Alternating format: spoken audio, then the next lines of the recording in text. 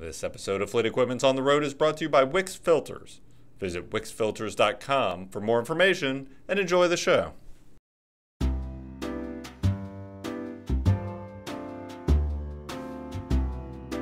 Life on the road leaves you with a lot of time to think. On a quiet drive like this, from one trucking industry event to the next, a number of questions can roll through your mind. Questions like Did I miss my exit? Where am I going to get more coffee? Or why don't we talk more about wheel hubs? After all, wheel hubs are an essential part of the truck's operational efficiency and safety. I'm still trying to figure out the answers to the first two questions, but I'm making a pit stop to visit the Timken company to get answers to the last one. So come along for the ride as we talk to Timken's top minds about all things wheel hub, seals, bearings, and more.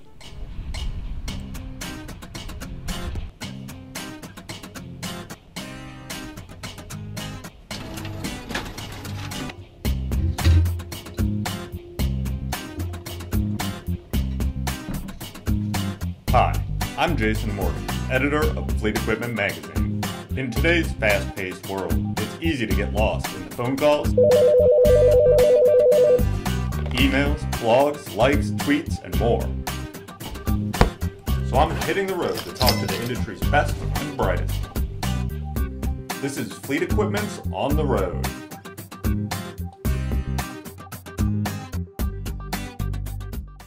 Timken offers a full aftermarket wheel hub assembly, from seals and bearings to everything in between.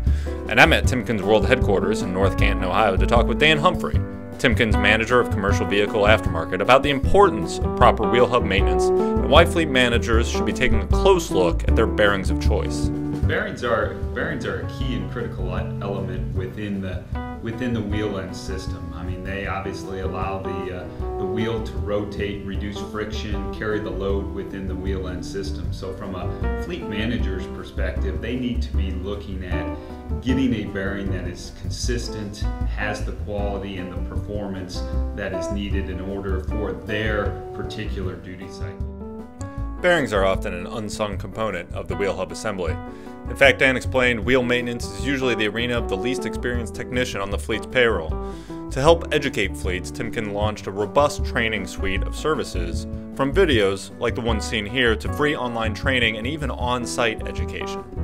When you go to the on site one, you're working with a fleet, uh, what are the biggest uh, training bullet points that you stress when you're talking to them? Key is understanding the type of wheel end you're dealing with. Again, there have been some changes with the uh, the pre-adjusted systems out there and the unitized systems out there. Historically, it was all manual adjust. So you would go in, you would do TMC, RP618, you would walk them through that process. Very simple, very consistent as far as that procedure goes. Now you have different types of wheel ends in the market. So each has a different adjustment procedure. So it's important that those technicians at the fleet level understand first and foremost the type of wheel end they're dealing with, and then how to properly adjust that, the type of components that go into that, if it's even serviceable. If you have a unitized system, it's not even serviceable. You have to replace that full hub assembly. So knowing those things and educating the technicians on that is very important from that hands-on training perspective.